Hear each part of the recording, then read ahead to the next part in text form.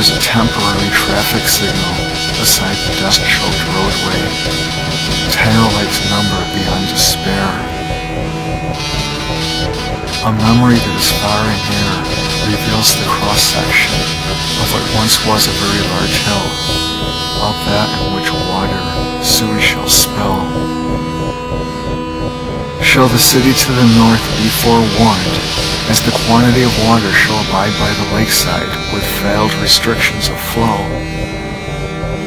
The revenge of Montezuma is the highway that erodes at the overflow as it washes to the east. 31 is no longer fun. There are no hurried people to wait for the sun.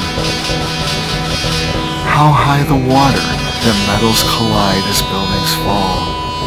Oh my god, there's nothing at all. How shall our boats reach the Ontario Sea?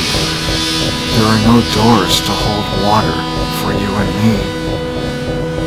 A shameless scar reveals itself after the sky clears from days of rain.